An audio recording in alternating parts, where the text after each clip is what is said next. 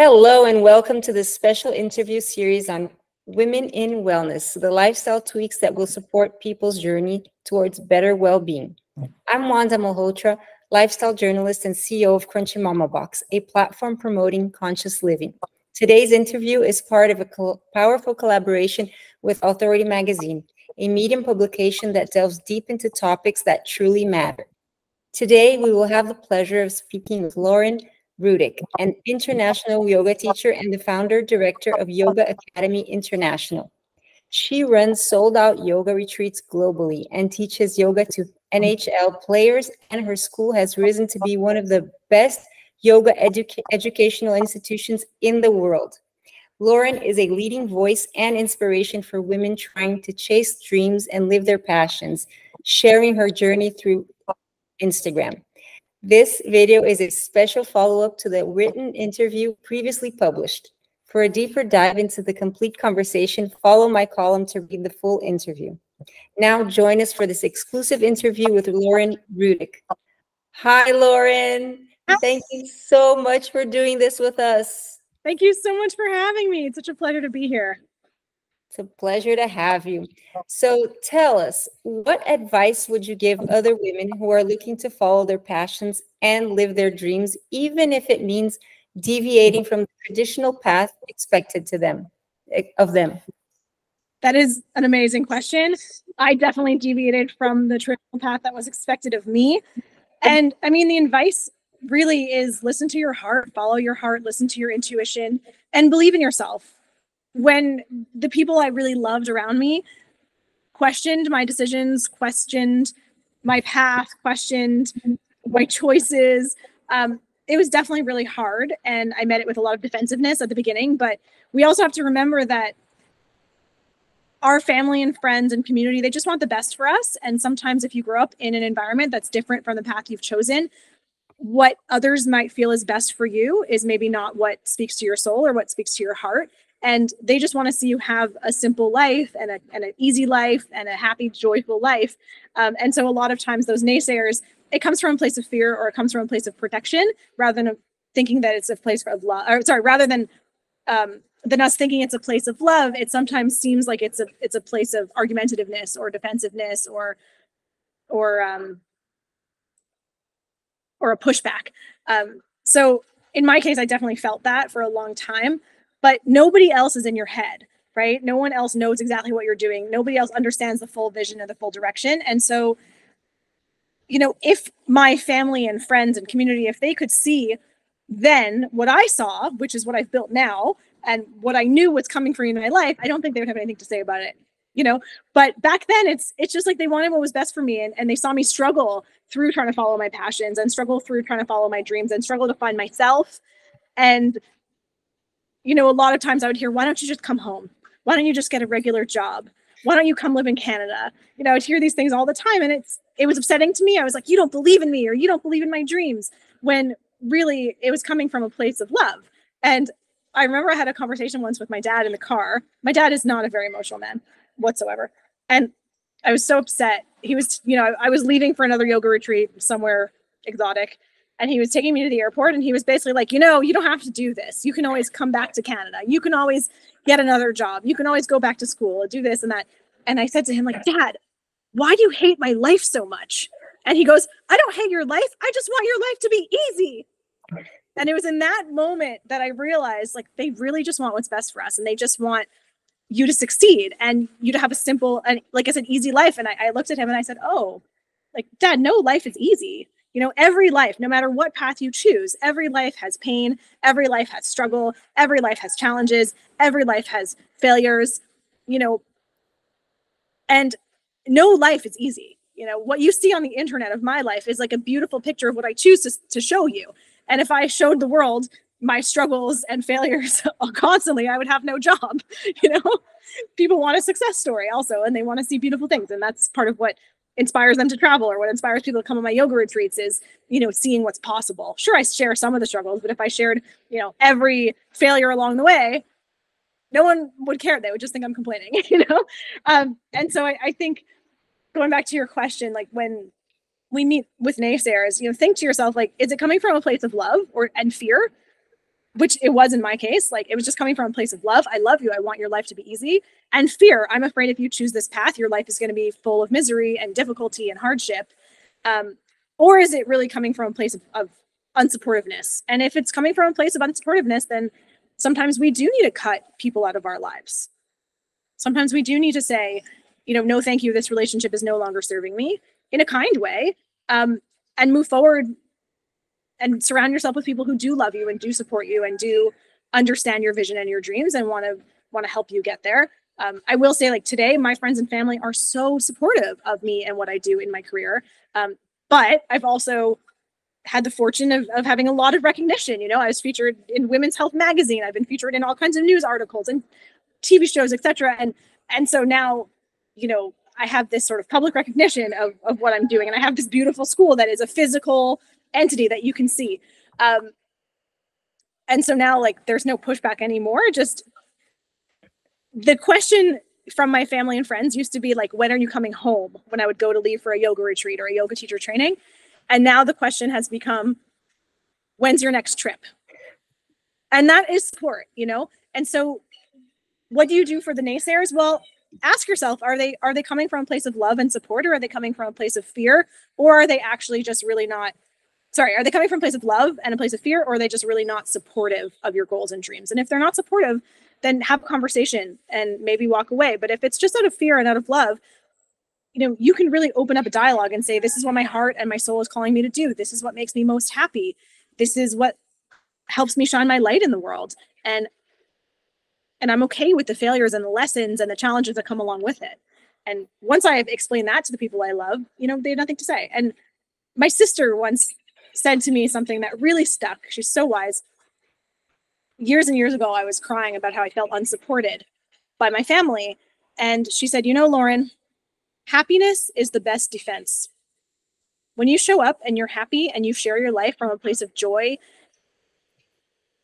people are just going to be happy for you. You know, and that's something that I've learned too is sure I will share some of my struggles with the people I love or with the naysayers, but I I mostly share the successes and the joys and I send my family home pictures of me at work and doing what I do and in beautiful places and that has also really helped um, educate the people I love and the people who were formerly fearful into a place of just full support and full love. That's beautiful and so important for us to keep in mind when we're going through a change of careers, life change. It's that, those are wise words. Thank you, Lauren. Thank you. So you've traveled extensively and taught yoga in various parts of the world. How has cultural diversity and exposure to different lifestyles influenced your approach to yoga and wellness? Oh, that is a really great question. I have to say, traveling is the best education I've ever gotten. I learn so much everywhere I go. One thing I'm pretty cognizant of is being culturally sensitive and culturally appropriate.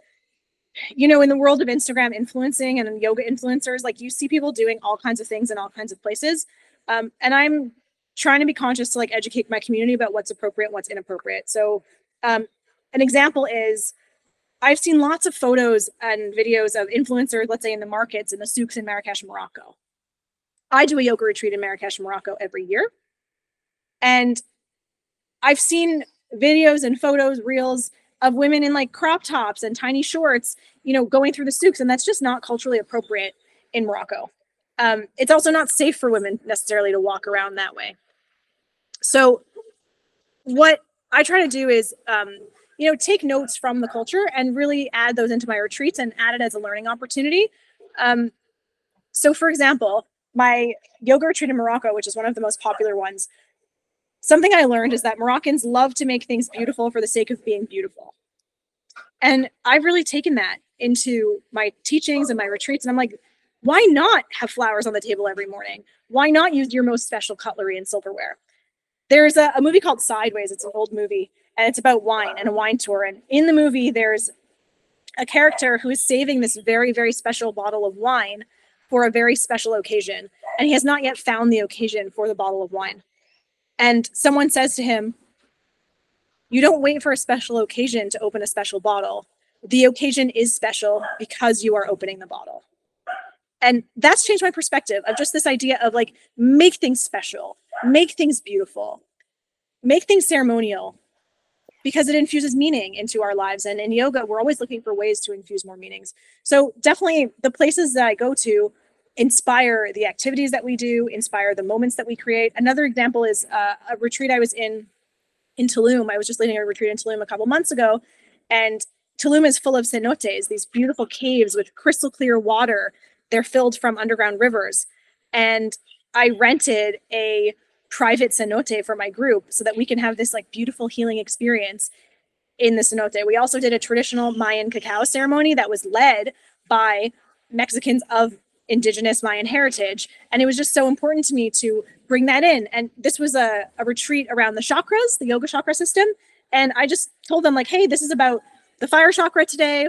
Can you, you know, somehow infuse elements of X, Y, Z? And they they really did. They really brought it together. It felt like a very full circle moment. So for sure, the places I, I run the retreats totally influence the experience. I really try to make it culturally relative. I think that's what sets me apart from other yoga retreats is that we're not just coming to a place and doing yoga on a beach in Costa Rica. We're not just coming to Tulum and doing yoga in a fancy villa. You know, I really try to add cultural elements to the experience so that our retreaters feel like they've really traveled and really seen something. I'm very fortunate to have traveled all over the world. I've traveled in every style possible from like sleeping on a park bench. I hope my parents don't watch this. From like sleeping on a park bench to like hitchhiking and couch surfing to you know supreme luxury and everything in between.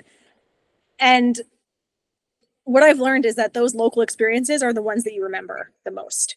Um, so definitely the cultural atmosphere influences what i do. And then also i like to make sure that our retreaters are culturally sensitive to where we are. So going back to this thing i've seen like you know influencers let's say in marrakesh souks like you know in in little clothing you know that that's not necessarily appropriate. Or i've seen I've seen yoga girls doing like handstands in the temples in Egypt.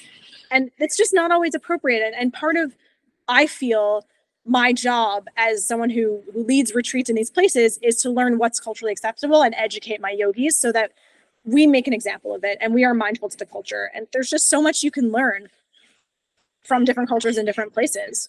And so I try my best to be open to our surroundings and and infuse those elements into the retreat and, and ensure that that the yogis that come along are doing that as well. And it, it also just helps us have a really a really harmonious retreat experience.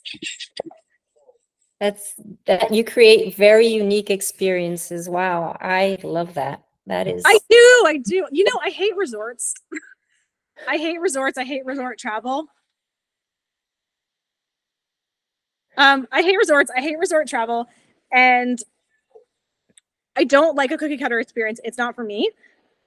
And so I really feel that when people come on my retreats, it's my responsibility to give them the kind of travel experience that I would want. Every retreat starts with what would my dream vacation in this place be? Who would I want to be surrounded by? How much do I think I can pay for that? Do I want it to be luxury? Do I want it to be rustic? Do I want to have a private driver? Do I want to rent my own motorcycle? Like all these things come into into play. And yeah, I do really create unique experiences because I like unique travel experiences. And I'm very fortunate. I get a lot of repeat clients on my retreats and they trust me because they know that I'll provide a safe experience, but an authentic one. And it's really cool because I get to like have reunions with people I love all over the world in different places. And they trust me enough to just sign up and say, okay, Lauren, where are we going next? Portugal? Cool. Bali? Cool. Tulum? Great. Um, and that just feels feels super good. That's amazing. So your your retreats offer a unique blend of yoga, adventure, and self-discovery. Can you share a mem memorable moment when one of your retreat participants had a transformative experience that stood out to you? Yes. So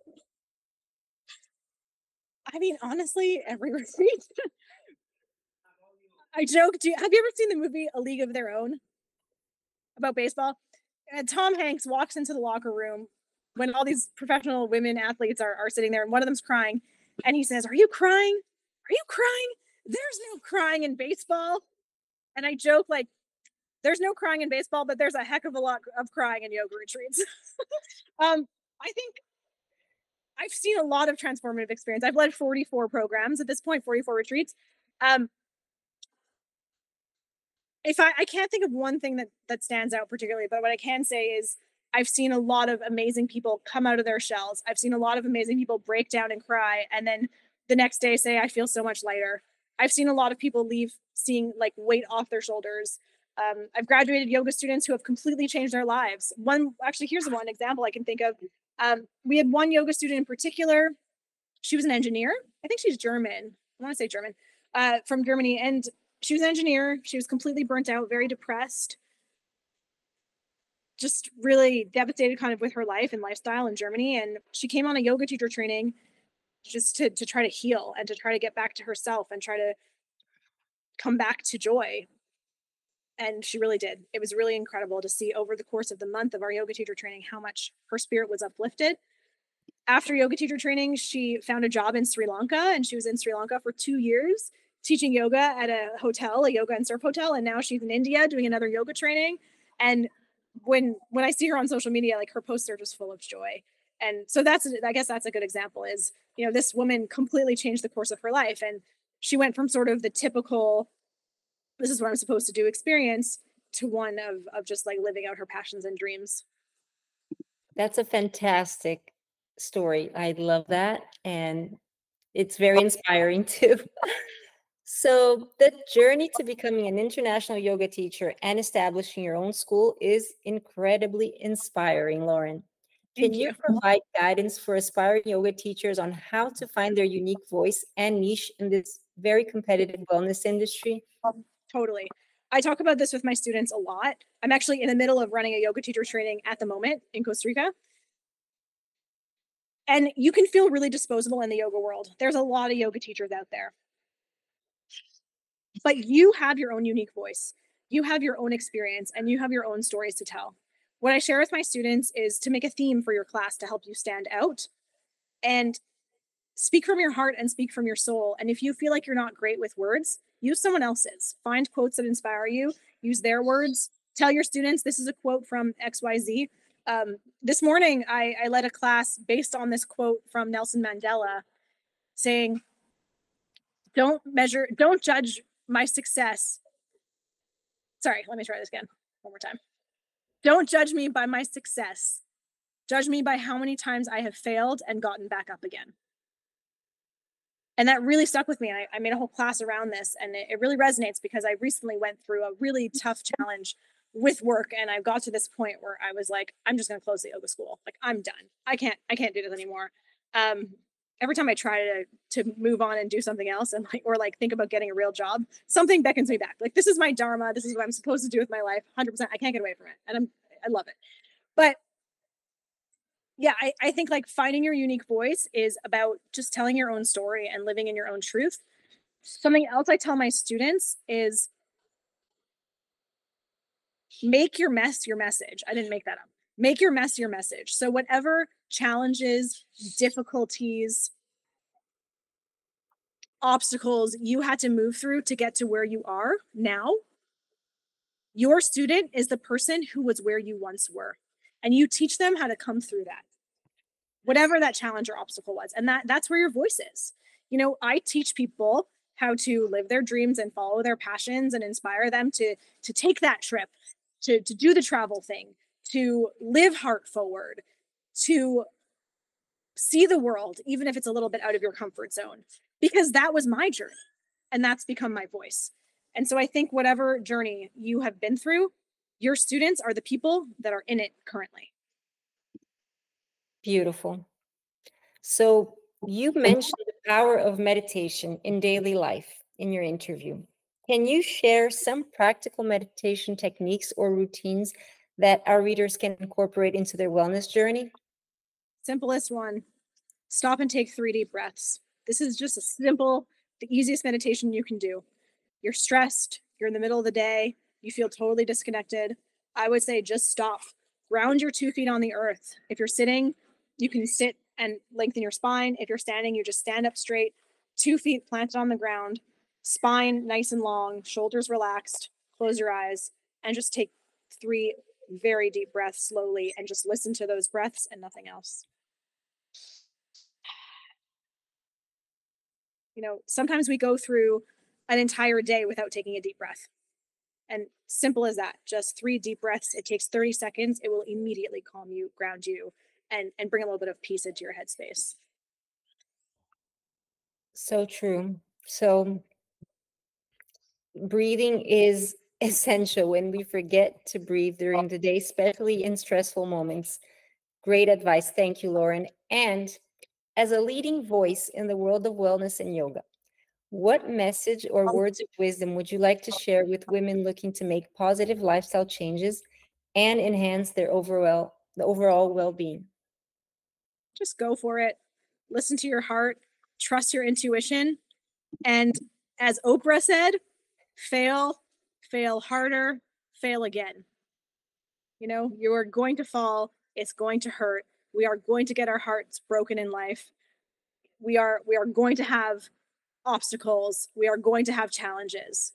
You just listen to your heart and follow that desire, and it will never lead you astray. And it's really hard sometimes to listen to that little voice of intuition, especially when the whole world gets really loud.